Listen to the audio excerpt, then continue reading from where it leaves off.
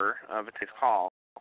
Um, so many people uh, in queue. I want to address you guys to the Q&A feature on the bottom of your screen. If you look in the lower right-hand corner, you have that.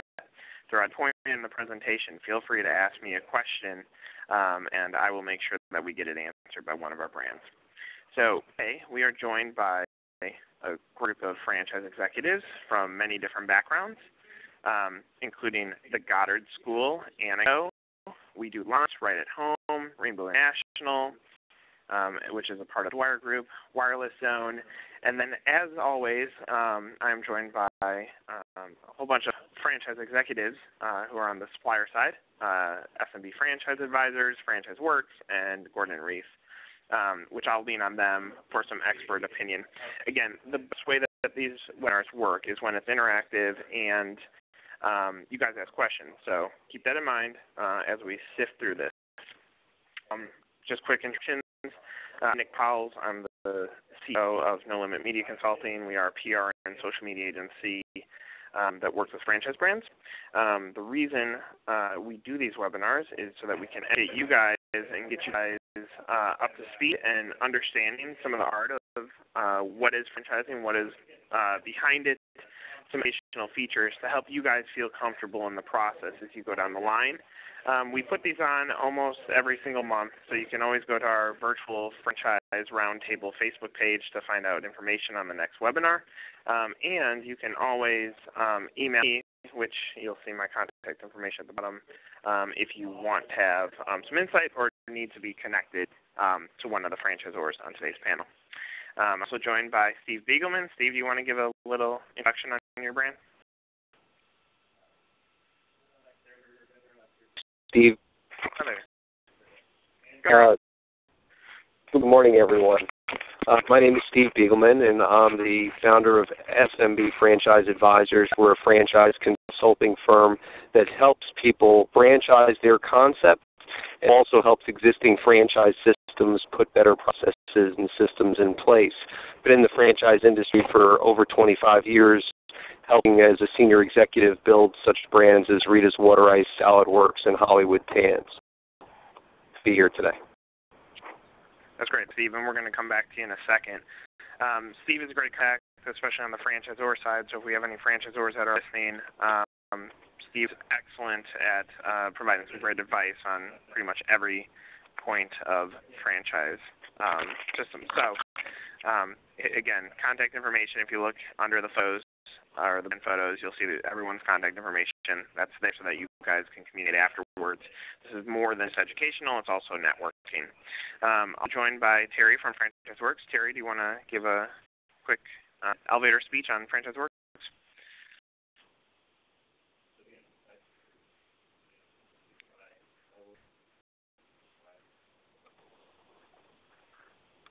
I've been in since 1987, but our website really is a uh, an information portal where you can get, you know, obviously find information on hundreds of different companies, uh, updated news information, anything about franchising typically is on the site, so it's something you can access and, and kind of do your homework.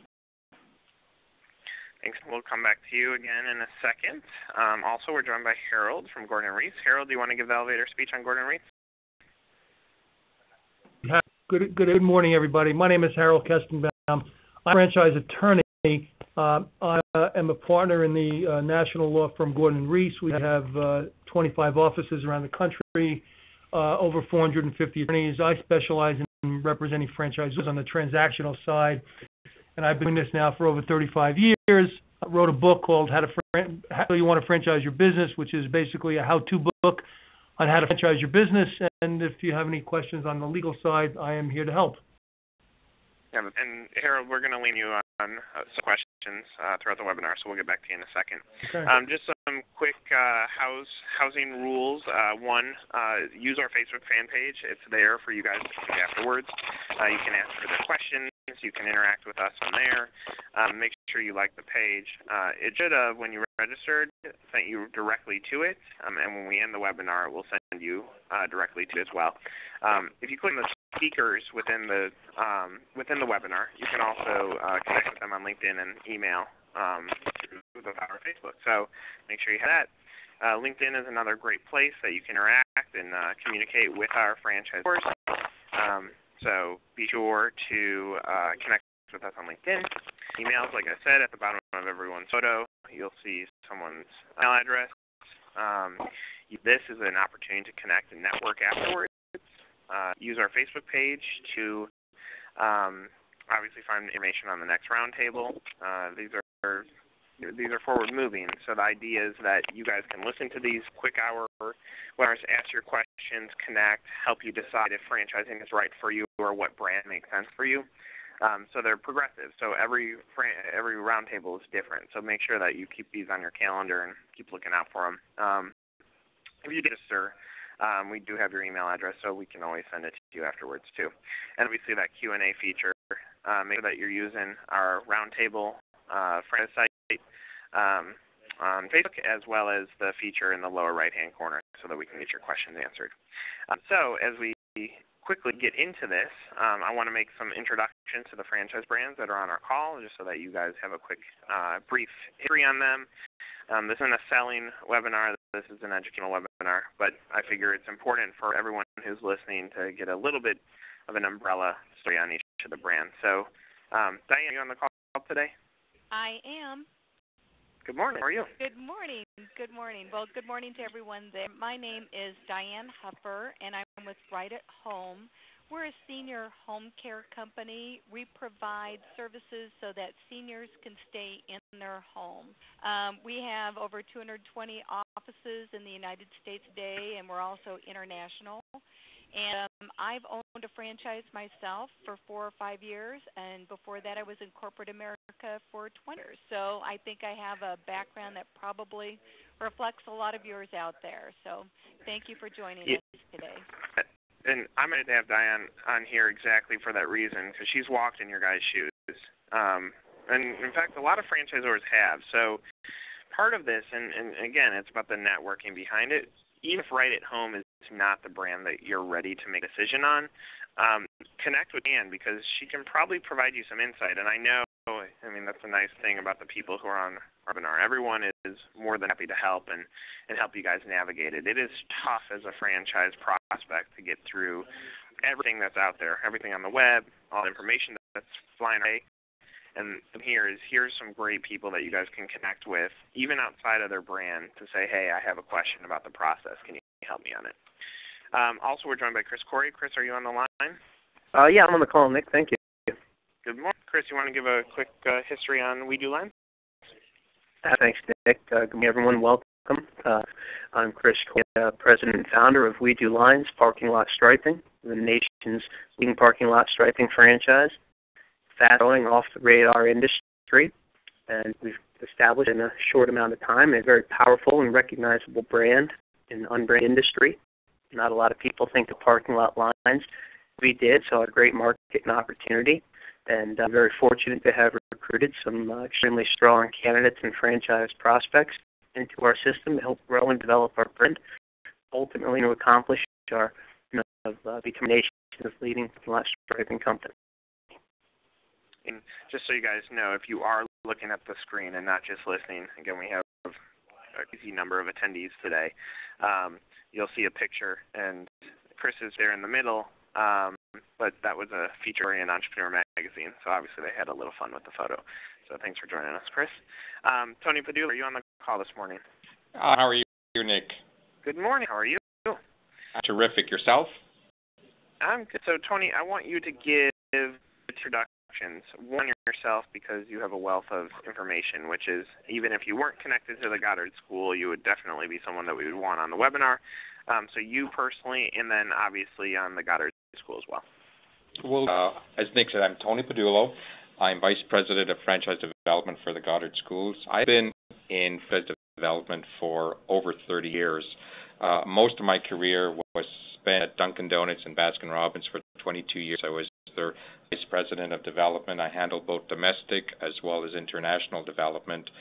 Probably opened about 35 new countries for, for both brands uh, across the world. And after Dunkin' Donuts, I did some work with BP Oil on the West Coast in developing a franchise concept for them on our uh, convenience store chains. We had a chain, a, a company-owned chain called Connect Stores, which was the eastern counterpart of the western of the western states, where we called AMPM. That some of you may recognize the name, and, and BP is now franchising that. They had uh, at the time over 600 units. And in addition to that, I worked at um, uh, Gina's, which was a regional um, developer or franchisor, I should say, in the Northeast. And prior to coming here to Goddard Schools, I was uh, VP of Development at AAMCO Transmissions. So, so the question you might ask is, boy, you know, like it, it's such a span of different concepts from food to oil to uh, transmissions and now childcare. But from perspective the principles of franchising are always the same. I mean, if you have a solid, if you're working with a solid franchisor or a solid concept, those processes, those concepts follow the same basic philosophies. At the Goddard School, is very happy to be here. Been here since December of 2010, um, and we are, you know, the leading franchise child care uh, concept in the U.S. We currently have 487 schools throughout the U.S. We're currently in 35 states. We have not started developing international yet, but that is on our longer range uh, uh, forecast. But there's just so much room to grow still in the U.S. Uh, with God. So as we get into the uh, into the seminar, I know we'll be addressing some specific points. So I'll, I'll wait for that. Yep. All right. Thanks, Tony. We appreciate that. Um, Doug Dixon, are you on the call this morning? Hi, good morning, Nick. Good morning, everyone. Good morning. How are you? So Good. Doug has um, obviously we we see that he's representing Rainbow International, but Doug, I want you to go into the Dwyer Group as well, um, and if you could just touch on briefly some of the history with even programs like VetFran, that would be that'd be great to touch on here. Sure. Uh, again, my name is Doug Dixon. I'm Vice President of Marketing and Operations and Franchise Development area of the Dwyer Group. Uh, our group's been around for about 30 years now, so we have a long history in franchising, and we're close seven different brands, all in the services industry. And those brands are Mr. Rooter, which does uh, plumbing work, uh, Mr. Appliance is appliance repair, Mr. is electrical contracting, Collector's glass replacement and repair, Aire Serv, which does um, work, Grounds is um, our landscape lawn maintenance uh, organization, and then lastly Rainbow International, um, which uh, does restoration work. Um, seven brands. We've got about 1,600 uh, units uh, throughout North America and Europe. And all of them are in the services industry, so we get some great synergies across those brands. They're uh, all needed and repetitive, service, repetitive services and service a broad span across residential and commercial customer base. Um, Rainbow specifically, which is the one we'll be talking about today, we have uh, 400 units um, uh, in operation. Um, added 51 last year, so we're growing nicely. And uh, again, uh, we do restoration work, which is cleanup of fire, smoke, water damage, that sort of thing, putting people back together after they've had some sort of a, um, issue with with an emergency like that.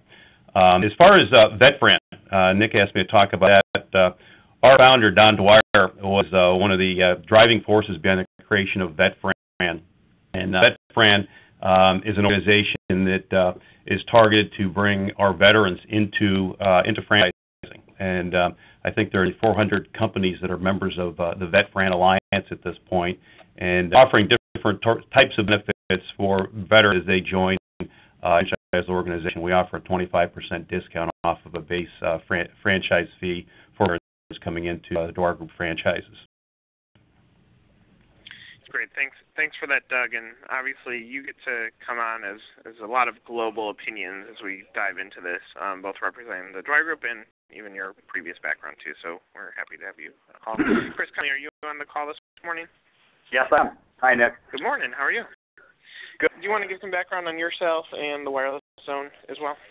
Absolutely. Uh, my name is Chris Conley. I'm from Wireless Zone Franchise. We are a Verizon wireless premium seller. So basically, in a nutshell, what we do is we help people that want to get into the uh, business uh, to provide the wireless products and service, product, product services. Sorry, and uh, you know we, we help them find a location. We do all the training, marketing support, uh, warehousing, uh, customer service, everything it takes to open up and run a store uh, is what we bring to, bring to the table. We have close to 500 locations, or we're closing in on 500 locations.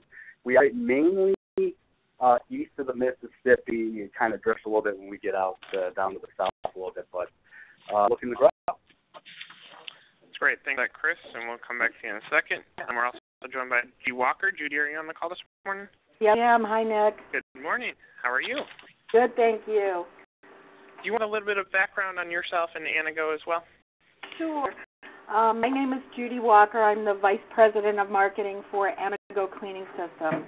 I have been with the company for just under 18 years um, in different capacities. We started franchising in 1991, and I came on shortly after that. Um, we have 30. We're a two-tier franchise system. We have 33 master territories across the United States and one international in Santiago, Chile. Um, I have been involved in the sale, training, and support of every master that we have, and um, it's a we're a commercial cleaning uh, franchise. The commercial cleaning in the U.S. is a one over 100 billion dollar a year industry, uh, and has proven to be very recession resistant.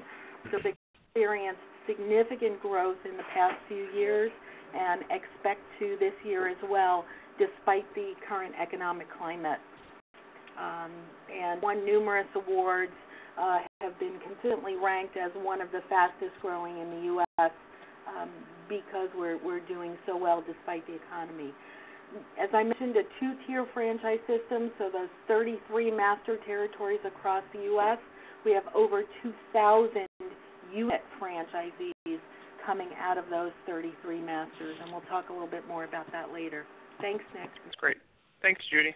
All right, so now what everyone's been waiting for, let's get into the roundtable. We like taking about the first 20 minutes of our webinar so that we can go through the introductions, and then we compound into it. So we're going to go through five categories, five questions that would fall into what makes a great brand, what what should we be looking for in great brand, and that's kind of the theme of today because there's obviously concepts and there's brands and but we want to understand what elements fall into that. Why should i be buying a franchise now? So again use the q and a feature. We have a few that have popped up um, and we'll make sure we get get those answered. Um, but why franchising now? Identify franchise and the characteristics. So uh, let's go ahead and get started. So question number one how do i decide on the right industry for me? And this is figuring out brand would fit into these industries. So I want I want my panel to talk about the brands and, and how they fit into the industry and how you pick the right industry and how how what what am I looking for in the company that I that I do. So um, like we've done in the past, I'm going to have several of our franchisors answer these questions, and then um, as well as our experts on the call. And obviously, you guys can ask follow-up questions, but we're going to treat this almost like it's a roundtable. So everyone, keep your answers pretty quick, and then we'll uh, keep going through it. So why don't we start with you, uh, Diane? Why don't you answer the question? How do I decide on the right industry for me? And then secondly, how does Right at Home fit into uh, being a great brand within your industry? Okay. Well, well, first of all, um, I've been through this exercise myself, so I can I can tell you um, what what I looked at and what I think others that look at right at home looks like looks at is what is interesting to you. Um, what experiences have you had in your background? What do you like to do um, versus what do you not like to do? Um, people tend to gravitate towards those, um, you know, those industries or those types of jobs that they're good at and that they like. And um, keep in mind when you get into this industry or into a business, those areas that you don't like, you can, as an owner, you can hire people to compensate for your weaknesses or those things that you don't like to do. So, so for instance, um, I, I like to cook, and so one of my previous businesses that I looked at was something that had to do with food, um, retail, retail food. That was interesting. And then um, my father-in-law came down with Alzheimer's, and so the senior care market was very interesting to me, high growth, and so that's why I've gravitated towards working here right at home.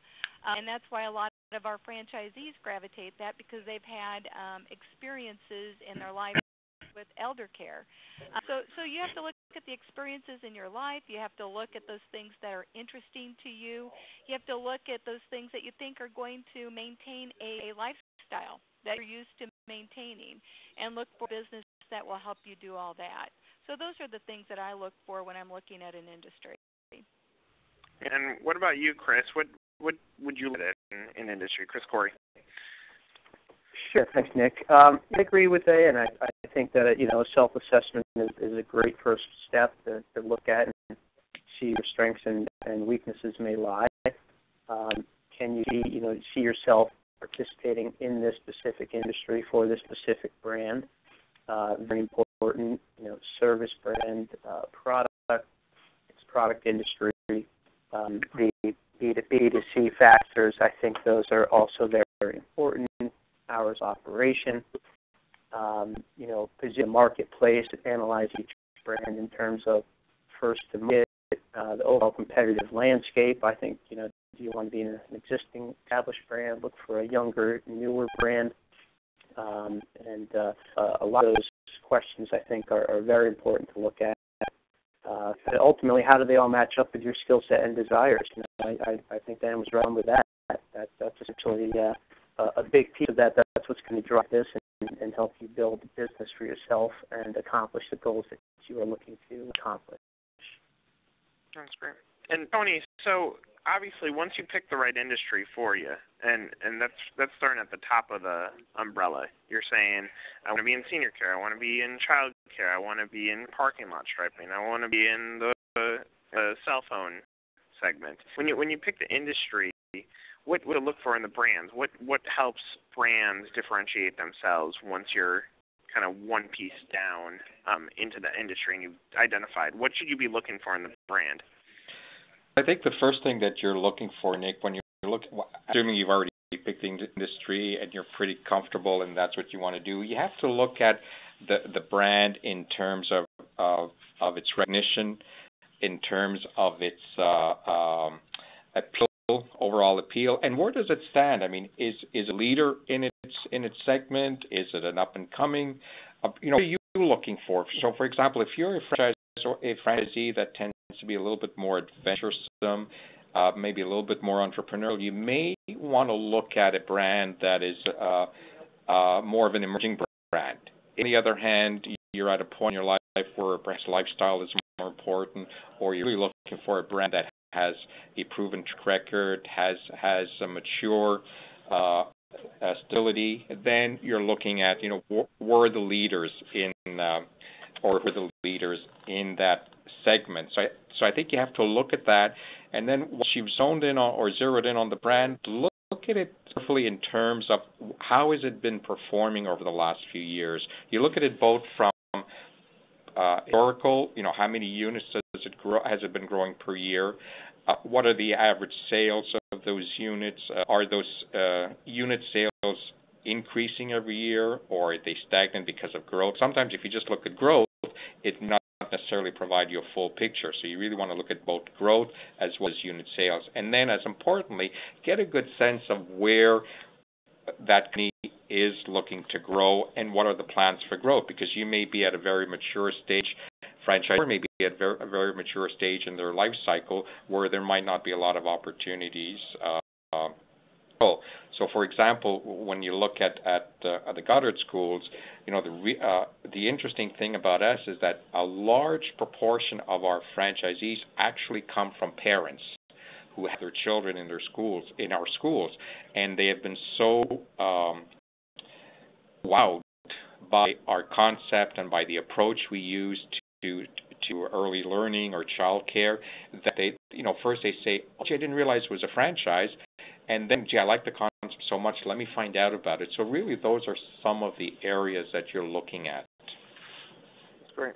Judy do you have to have passion for the industry or do you have to have a passion for business when deciding what what industry for you? It's interesting because as my uh, previous panelists were speaking I was thinking to myself if I pa- asked every one of our our franchisees, um, did you ever see yourself in the commercial cleaning industry? I think every one of them would say no. Um, it's it's basically a journey that you're on, and you have to really look deep inside and see um, where are your strengths, where are your weaknesses, what are you passionate about, and it may not be that you're passionate about cleaning, but you're passionate about helping people, about monitoring people, about mentoring people, about taking people on the road to business ownership. And that's exactly how they found us and how they found Anago Cleaning Systems. Being a two-tiered franchise system, the master franchisor in the territory is selling unit franchises to people looking to open a, a cleaning business and the American dream of business ownership. So not only is there the um, satisfaction financially of owning a master franchise, but there's a lot of personal satisfaction involved in it as well because they're really mentoring people on a journey towards business ownership and helping them to succeed in business. So it, it's, as I said, it's something that maybe you don't initially see, and, and you really need to have a good idea of what you love to do in, in life, what look at your past skills and what jobs you've had that that you really loved doing and what were your responsibilities during that time? And what do you feel strong about um, about doing going forward? So diane i want to go back to you because you know senior care is kind of boomed. It's really a, a hot, hot topic a hot, a hot franchise uh, category. Um, how brands differentiate themselves? I mean is there a way they can and if I'm a prospect, I'm looking at this very full uh, segment. How how do brands differentiate themselves with, within an industry? Well, first of all, what's nice about franchising is it's a proven concept. Um, for instance, we have 220 locations, so we've helped people get up and running, you know, 220 times. So, you know, um, you get to the point where you get very good at helping your brands get up and running and help to differentiate them. And with differentiation, you're looking at the training. You know, this brand, are they very good at training their franchisees to compete in the market? Uh, are they teaching these franchisees, um, you know, on how to do their sales and to get referrals to bring business in the door. Um, also, with differentiation, you're looking at you know the satisfaction of the customers. If you do a really good job, a lot is word of mouth out there on the street. So you want to make sure you're training your franchisees as well as you can to provide the best service that they can, and and that you know it's the adage. You know, if someone's satisfied, they're going to tell you know one or two other people. If they're not, they're going to tell ten people. So you need to make sure that you know with with your training that you you know really push the you know the customer satisfaction. And, and that's the big differentiator here. Um you know with with elder care people you know are very they they just don't want to leave their relatives their mom or dad with just anybody. It needs to be with a trusted source. So so that's part of the differentiation to be the best provider that's out there in the market. And that will drive a lot of referrals that are out there uh, thanks for that, Diane. Okay, so we're going to come back to all all of the folks who are on that question in a second, but I want to keep cranking through. Let's get to the next question. What are some elements of the FDD that, that can influence my decision? And I want you guys to talk about this as as a brand. Like as a brand, what are you putting in there, and what as a franchisee should I be looking at? Um, Steve, I want to start with you um, because you, I mean, you you've walked franchisees through this. Um, the franchisor side, you've helped franchisees understand how to make their FDD stronger. Um, why don't you start off by taking the first question? What are some elements of FDD that can inf- help influence my decision? Well, you're a potential franchisee and you're looking at a, a business opportunity or a franchise opportunity, Nick. The FDD can be a little overwhelming if you've never investigated a franchise before. It's this big document with a whole bunch of things in it, all these different items, sections.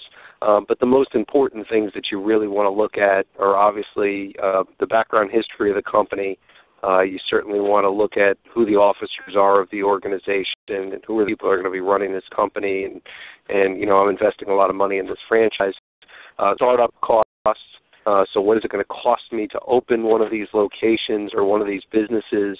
And then typically you want to look at something called an item 19 to see if a franchisor has what's called um, an earnings claim. Uh, or financial representation. So, you know, some franchisors offer that. A lot of them on the phone call today, I know, do have an item 19.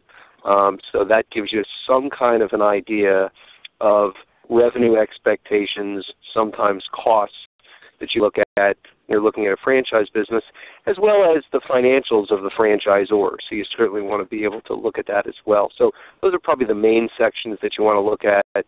We're looking at an FDD document and certainly communicate with your franchisor because they'll be able to help guide you through the FDD document and explain different sections of it to you. Okay, and let's go on over to the attorney. Harold, do you want to give some pointers or some tips on into that FDD? I think there are a couple other sections that need that, that a franchisee needs to focus on. Uh, and I, I particularly point to number three, item three, which is litigation. May not apply to a startup franchise company because they're brand new, but existing franchisors, if they if there are you know numbers and scores of litigation against them, you might want to know why that's the case. Uh, you know, when franchisees start suing the franchisor, there's got to be some issues that that are are hidden. So you got to find out what they are. Five and six are, are what you're going to pay up front and what you're going to ongoing. And when you're sitting down with your accountant, figuring out you know your budget, you know what it's going to cost you every week or every month in terms of royalties, uh, advertising, etc. So those are important. And, and yeah, Stephen's right. 19, if there is one, is important. Also look and have your lawyer focus on item 17, which is default termination. See what is if you do wrong, you could lose your business because that that could be important. And and I think that's something to do is inconsequential, but, but the reality is it's it may be a, an item of default that, that could be curable or or, or, or something that that could be dramatic and your business. So those are important. And, and lastly, take the financial statements because you know for for a franchisor that's undercapitalized, where you may be putting up more money than they have in the bank, you got to scratch your head for a second. Now that be the case for established franchisors, but it's certainly the case for startups. You'll see some startups with fifty thousand dollars in the bank, where the investment is going to be a half a million dollars. So you as a buyer need to scratch your head and say, wait a minute, why, why am I spending more money than they have in the bank? So those, those are those are things you got to look for. Yeah, that's great advice, Harold. So I, I have a question for you. If I'm a franchise prospect on the call today, and we, we have a lot of them, um, should I expect the franchisor to help me understand what I'm looking for an FDD, or do I need to go find an attorney? A, a mixture. You really first need to find a franchisee attorney who can you through this and then when you have questions and you want to go deeply into the business, then you want to talk to the franchisor or their representative. Uh, so, for example, how come you have four lawsuits? You want to tell me about that? Or things like that. The, the, the attorney's not going to be able to tell you, but the franchisor will. Is I mean, a lot of those when when we go back to the theme of the great characteristics of a of a brand, you can find a lot about a brand by really dissecting the FDD. Yes, so again, when you were looking at FDDs as a franchise prospect, what were you looking for? Do you have any tips for the for the franchise prospects on today's call? Sure. Um, I was looking at the franchise fee and the royalty structure. Uh, I also wanted to know the term. Um, you know, how long is this agreement for, and can I transfer this franchise to someone else during that term if I want to sell my business? So that was important to me. And then also, are there some minimum revenue requirements? Um, am I required to produce a certain amount of revenue in a certain period of time? So I wanted to be aware of all of that when I was looking at that. Um, also, you know, again, the performance claims. There are a lot of franchise systems that don't make performance, financial performance claims in in the franchise document, and I think that tells you something if they're not willing to put that in there. So that was important to me. Uh, and um, just I, I wanted to know a lot about the owners and their experiences. And again, the litigation if they've been you know sued by their franchisees in the past. So so those are all very important to me. And then the financials. You know, look at the audited financials in the back because that tells you a lot about you. You want a franchise organization that's going to be out for the long term. You know, if it's a 10-year term, you want to make sure that that company's going to be there with advertising for that 10-year term because you're investing in it. So make sure that there's strong financials. And then at back, I mean, I, I wanted to see the listing of franchisees that they have, and and I'd like an extensive list of franchisees that I can call and see how they like the system. So so that was very important to me as well. Great. So, so you worked with a lot of brands. I mean, from a brand side, what elements of the FDD are you trying to to chase? I mean, what what are the best elements for you uh, with with Goddard School, but but also as a whole, if you want to kind of swing at all the brands that you've worked with and what franchisees should be looking at.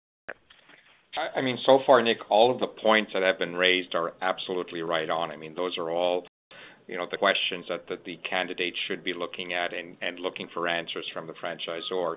In my experience in uh, in every brand I've, I've been with, assuming all of the other areas are are are are looking well, uh, the you know to to the candidate the most important questions always come down to how much is this going to cost me, uh, what kind of revenues can I expect, and how much am I going to make? And I know those are always hard questions to answer, but consistently, uh, those franchisors, and, and I've been lucky, all the ones I've worked with, we have all included 19.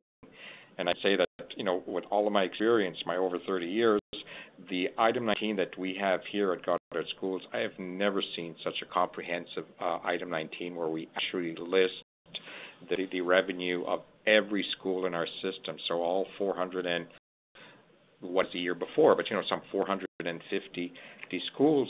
Uh, not only do we list them, but, but we we actually list, and of course we don't identify them specifically. You know they're all listed uh, anonymously, but they're listed by revenues, by major expenses, and uh, and EBITDAs, uh, which is the earnings before interest, uh, taxes, depreciation, amortization, so that it gives the candidate a sense, you know, because averages only tell you one side of the picture. Average sales, especially if they're on a national level, there there, there are so many regional and and even local differences that's hard if you're just looking at a, a national average. It, the, the range can be enormous.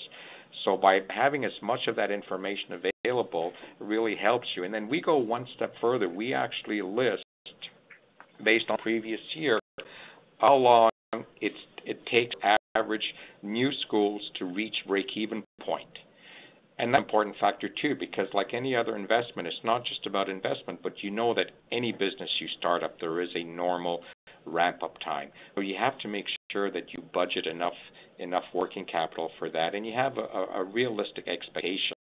You know, it, uh, 12 months, is it 18 months, is it six months, and that you're not expecting something that that is dramatically different from uh, reality. So for me, uh, with my experience, the item 19 is is a key key element. Uh, Paul mentioned litigation. Uh, again, because I've I've always worked with the major uh, franchisors, litigation is always very important because it really helps you understand the philosophy of the company. You know, if if a company has 20 pages of litigation listed, you usually want to question why. You know, how much of that is uh, is frivolous or not, and what were the reasons. If, on the other hand, there's very little, it it it helps you understand the psyche of the com- of the company and how they deal with their their franchise owners. And then maybe one other area that you want to look at. Uh, again, I think it's uh, item 20, which is you know look at the past history of, of the of the franchisor. Uh, not only looking at the growth, but also how many closed schools per year or over the last three years, as, as indicated in, in the FDD. Uh, I can say in the case of, of Goddard, uh, over the last 10 years, we have had eight schools closed, eight over a 10-year period, and despite the last three years of the of the economic uh, is just phenomenal. So those are the areas you're looking at, and then of course you get all of that information as you're wor- working through with your franchisor. Then, uh, you know, the next part is to validate with your franchisees, but I know we'll get into that later. Speaking of validation, Chris, why don't why don't you touch on that? Because I mean, one, you guys do a neat validation by inviting franchise prospects to your convention. Talk about how an FDD can help on the validation part and, and on the due diligence of a brand. Uh, Chris Corey. Chris Chris Conley. Chris Conley. Let's keep it going. So, so Doug Dixon, you take that question. How can how can an FDD help on the due diligence of the brand and showcasing where to validate and all those good things? Yeah, um, you know, the validation is a very important part, and that's that's a for those who aren't familiar with that terminology means it's um, when franchisor um, provide names of existing franchisees for the uh, prospect to call um, to ask them questions about uh, you know, like to uh, to be a part of that system, and um, that's a, like I said, it's a critical piece of the whole process. And and I think what you need to do is, if you let it um, uh, through the franchisor's eyes, they obviously want to have people in their system that are very positive and being very successful. Those are the ones they want you to talk to, and that's great. And I think you should talk to those folks as well. But I think it would also, as a prospective franchisee, ask, can I speak with some of the other folks in your system? Look, a third, third, third strategy. Let me talk to two people in the top third. Let me talk to two people in the middle third. Maybe talk to two people bottom third. So you get a perspective of what's on in their system. I would also um, ask uh, if you, you can speak with somebody that's maybe coming from a similar background that you are. If you're coming from corporate America and you're new to this particular type of business, talk to somebody that's coming from that similar background. Um, and then, um, lastly, I would like to talk to a couple of people that are terminated. Um, in the FDD, you'll see a list of, of the uh, the shops that have have closed or terminated in the last year, and I would probably call a couple of those just to get a sense of what's going on and why they terminated. And the main question I'm asking is, is if you were in my shoes right now, would you make the same decision to go forward with this franchise concept? And if so, why? And if not, why not? Because you'll get some critical information by asking that question.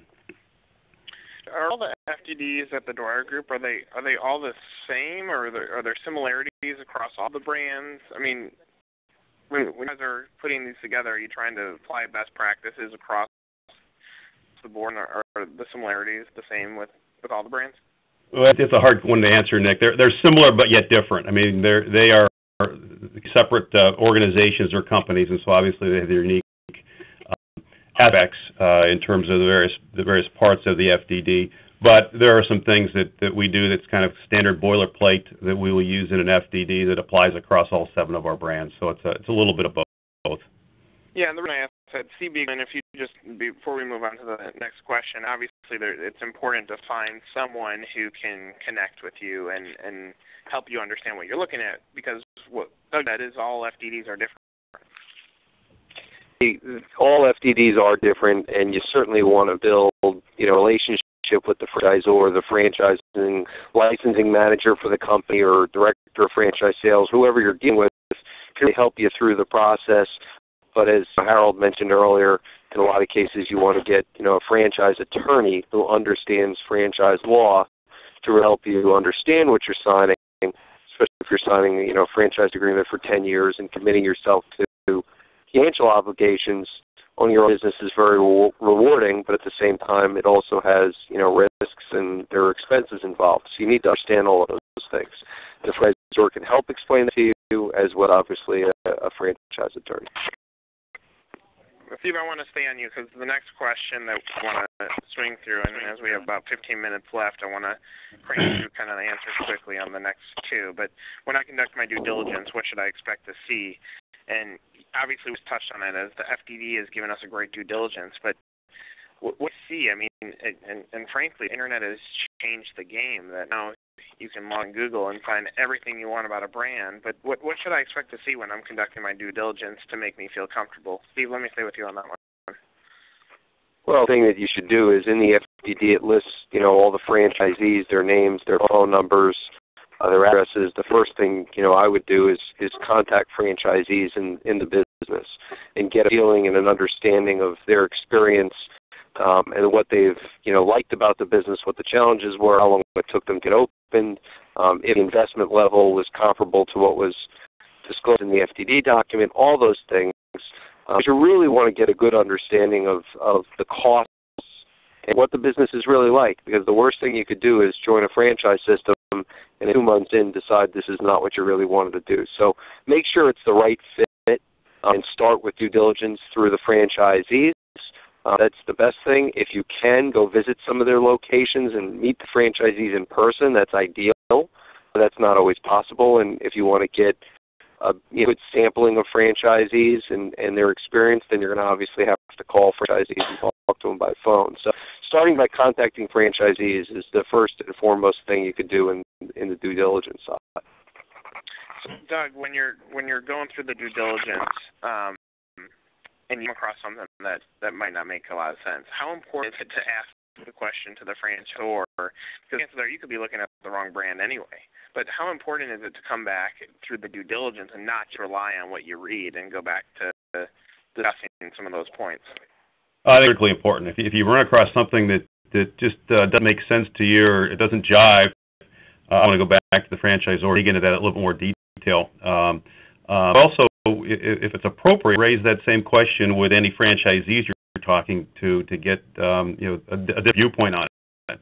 Um, because uh, you know, and hopefully it'll start to triangulate where you'll get you'll get a true sense of what's going on. But uh, you need to be you know 100% comfortable with all aspects of the business that you're considering buying into because big decision. And uh, Steve was saying you don't want to you don't want to uh, you don't want to make a bad decision and regret that later on. So um, do not be um, shy about asking questions. And as has been said a million times before, there's no such thing as a stupid question when you're making a decision like this. If you don't understand it, um, you find out and get the right answer.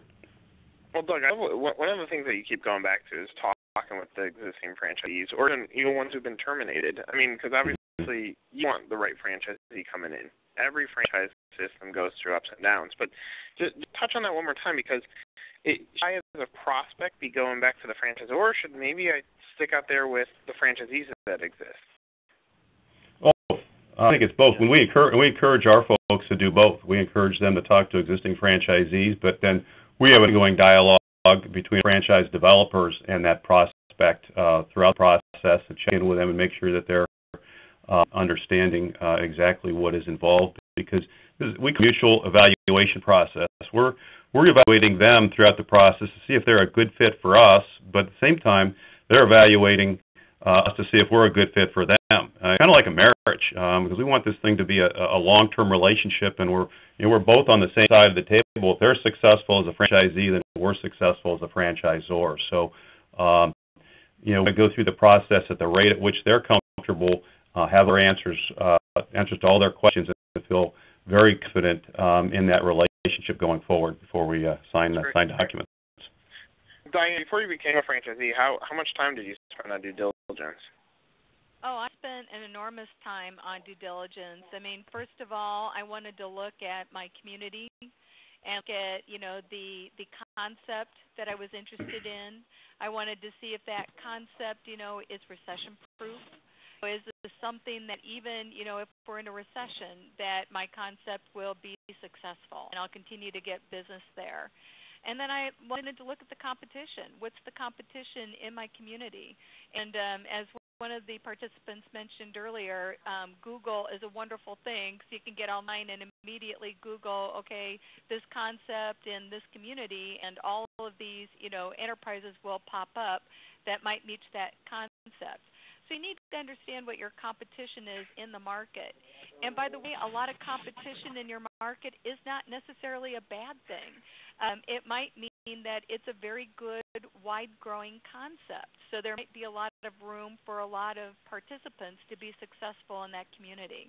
So, so due diligence in those respects are really important and you know you want to kind of look and see you know what the pricing is in your marketplace for that particular service can i make money you know competing at those price points. Um, so, so you want your due diligence not to only cover your brand, but the overall market in general as you're looking at the concept. It's Conley. Are you back yeah. online, Chris? Can you hear, can you hear me now? Yeah, yeah. I hear that. The funny that a cell phone company just said, "Can I hear you now?" Yeah. um, so, so so I mean, is is there too much time spent on due diligence? I mean, how quickly do you want a prospect to move and make a decision, or how much time should they be spending on their due diligence? Eh, eh, when it comes to our business, we we really want to, and I can't so here. We like to slow them down because we want to make sure that they have a total understanding of what they're getting into, what the business is about, talk to as many franchisees as possible. You know, discovery day with us. We want to make sure, and, and uh, someone someone said earlier that you're the right fit for us and we're the right fit for you. It's long-term relationship. This. You can't. I don't think you can spend enough time. You know, I'd rather have someone spend. The, the, the scary thing I've seen is people that want to move don't even want to do it. Don't even want validation. Uh, you know, that could be a recipe for for down the road because you may be walking into a, a business model that's not right for you. So due diligence is very important. So, Judy, when they're conducting due diligence on Anago, um, do you help them? Do you say, here are the points that we want you to go look at, or some of the franchisees that we want you to speak with? Well, you know, Diane took the words right out of my mouth. First of all, I wanted to say it's very important to check out your competition and and, and see in your particular area who you're competing against and what the marketplace is like. Regarding the validation, yes, we will suggest to them perhaps some masters to speak with, but due diligence process should go as fast or slow as someone wants it to. It's a personal journey. And yeah, I would call whoever the franchisor suggested, but I flip to the back of my FDD and look at the list of all the sub franchisees, and I'd pick some on my own to call.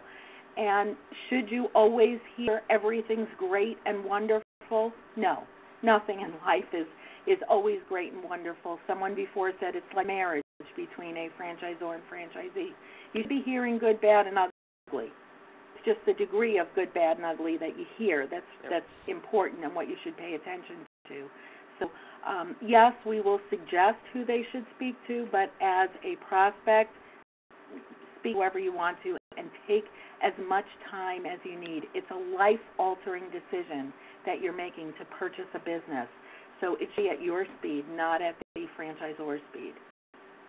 Okay, and from so an online perspective, Terry, do you want to touch on some of the benefits and and even negatives of how the online search has impacted due diligence? Sure. Um, you know, obviously with the internet today, there's tons of information. I mean, you know, mostly good. You're going to find some bad. Uh, and I think the key thing that you should get is, you know, once you've made a decision that you're going to go into a business, uh, whatever it may be, and you with the franchisor, and you come across information as negative. I think the, the right thing to do is is keep the communication lines open. Uh, are you looking for a reason not to buy the franchise, or are you are you just looking for answers that can help you with your decision? And uh, you know, address it with the franchisors and speak to them about it. And uh, one, thing, one thing Judy mentioned was competition. So mm-hmm. one of the nice resources that you have on on your site is you come there and you can basically identify the competitors in the field. You'd be looking at FDs or or even talking with franchisees from the competitors in the industry that you're trying to pick, or should you try and say, all right, if I'm going into uh, the cellular industry, I only want to talk with with wireless zone. Should you diversify search or should you limit it? Well, I, I think initially you, you you want to diversify it, and I think uh, you know too much information is not a bad thing, although, although at some point it can be. But no, I think you need to diversify and speak to two or three people in, in that type of an industry, um, you know, and find what their methods of business is and how, how you fit in, how you feel comfortable. And that's that's going to be one of the key decisions you're going to make is after you speak with them, who who do I feel comfortable with? Who has the right brand? Who has the right system? Who have the right support programs in place? And the only way to find that out is is by talking to a few different companies. So I want to jump kind of to ask question because we've touched on so much of brand validation. So, um, with the few minutes left, I think it's important for our prospects to hear because deciding on the brands, you're picking the brands that make sense for you. You're picking the industry. You understand how to look through the FDD. But now I hear, I want to go back to a question that that I want our franchisors and um, our experts to kind of just quickly touch on in a quick 30 second answer. But tell me why why do you love franchising? What is the beauty of it, and why should a prospect be looking at franchising as an option? So let's start with you, Diane. Why do you love franchising? Franchising, and I was a previous franchisee, so I can tell you I like it because the franchisor takes a lot of the burden off of an owner so that you can focus on growing and starting up your business. If you have someone there that's helping with the marketing, the advertising, they've got the umbrella set up, uh, a, a proven a proven umbrella of services that will help you get your business up and rolling, and a proven success ratio Um, that's really important so that you can focus on getting your business up and started and growing, creating revenue plans, and working your business instead of working in your business. That's why I like franchising. Love it. Tony, why do you love franchising? I love it because it it gives a candidate an opportunity. You know, the old cliched answer is, well, it allows you to go into business for yourself, not by yourself. But it really is true because when you get into franchising, you're looking at a franchisor that, through its experience, through its growth, has already made most of the mistakes that you would encounter as a new uh, business owner. It allows you to buy into and benefit from a, a proven a proven system, a proven uh, a series of processes that really are all meant to one maximize your your your uh, opportunities for success and obviously minimize the risk. And it's all and and then it all comes down to passion. You have to be passionate about what you're doing. I've been doing this. Uh, I keep I keep saying over 30 years, but I still uh, am as passionate about it today as a franchisor because what what gives me the most satisfaction is when I see new franchisees, regardless of what businesses I've worked for, uh, see them succeed and then come to not so much succeed, but say, you know, come back and thank you and thank you for what you're able to provide to them. So as a candidate, you're really looking for for you know that strong franchisor where you really can benefit from the stability of their system, uh, that they have an infrastructure in place, that they're growth minded, that you know they have a proven history, and you're learning from their expertise. Yeah, that's Harold. Why do you love franchising? Because I'd be an unemployed attorney. you know, it, it it's just a great business model, and and you know, I have a son who's who's an employed teacher who I think step that he's going to take is going to probably be to buy a franchise because otherwise he will still living at home and be unemployed. So yeah, I think it's a great business model.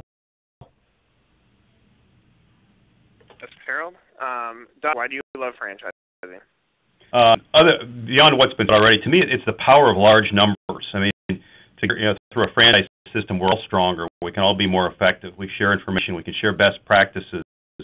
Um, we can use collective purchasing power to buy supplies and services at a better price than anybody could get on their own because of the size of the business. We take advantage of that system to help others be more successful. And uh, I guess maybe it was Tony that was talking about just increasing the chances of success as a new business. Um, uh, you know, when you're rolling the dice to buy a new business, that's a for most people that's a big, big decision and a big financial investment. And uh, if you lower the risk that's involved in that, boy, franchising is one of the ways to do that, and it makes a lot of sense. Personally, why do you love franchising? I mean, franchising just because it, it allows me to help people uh, get into something that they uh, are passionate about. You know, it's, it's, you know, getting into the real industry is a is not any uh, it's not an easy thing to do, and it allows me to help people get in with a premium brand, with a proven business model, a proven system, and want to grow.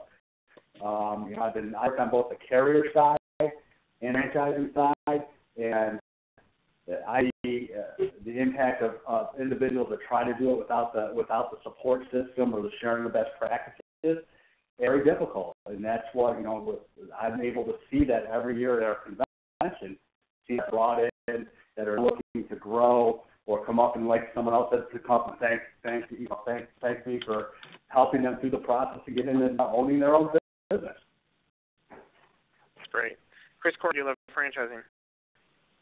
Uh, just because it's a great way to grow a brand and a concept collectively with with uh, owners that share the same passion and vision. You know, teamwork. I'm a big believer in it. Teamwork and uh, you know the synergies uh, provides benefits. A lot of uh, franchisors have mentioned that on the call today. It makes a lot of sense. Strength in numbers is a great way to do it, and ultimately being able to uh, utilize a collaborative learning system growing together, learning together, uh, all focused on one mission, think is, is a, a huge uh, value. And Terry, why do you love franchising? Plan. Terry, you there? No, Can you hear me? Go ahead. Yeah, Yeah. I can. Go ahead. I think even a playing field, it gives everyone out there opportunity to get in their own business.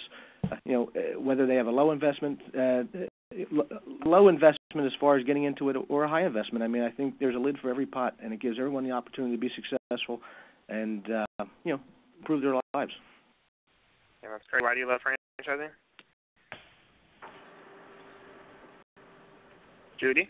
Yes, I'm here. Oh. Um, Go ahead. all the all the answers that were given before, proven system, you're buying a plug and play. Um, well, the mistakes have already been made for you. But I think one of the most important things is going into business with experts in that particular field. You're not going into business by yourself. At Anago, our motto is we are here for our franchisees and they are our only business. So you are going into business with a total support team that's there to guide you and hold your hand every step of the way. And that's the beauty of franchising.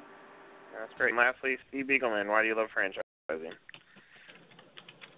Franchising just gives people so many different opportunities. I mean, there are franchise businesses in every type of industry. People on the call today from the senior care industry, the you know, the cleaning industry, the service businesses, child education. There's so many different opportunities out there, and you know, really that's what makes business great. And franchising really allows people into the business a business, follow their passion their dream, but follow that proven system. I mean, everything that everybody said from Doug, Tony, Diane, everybody really covered it.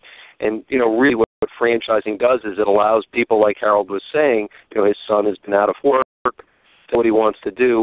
Ultimately, what's going to probably end up happening is he's going to buy a franchise. He probably can't create his own concept, wants to follow a proven system, wants to be passionate about something and wants some direction and obviously has to make a decision with what investment level he's comfortable with, what kind of industry he's interested in, all of those things. But franchising gives people the opportunity to follow that dream, get in their own business, but at least have the support of a franchisor behind them. That's why I love franchising. Great. Well, obviously, you guys got to get a lot of information on today's call. Um, we have another one at 2 p.m. So if you feel you want more information, we have a different set of franchisors that will be talking on the topics that we went over today at 2 p.m., along with our experts who uh, do every webinar with me. Um, obviously, as you leave here, you need to decide your decision is, uh, the, the decision criteria of the industry that you want to go to.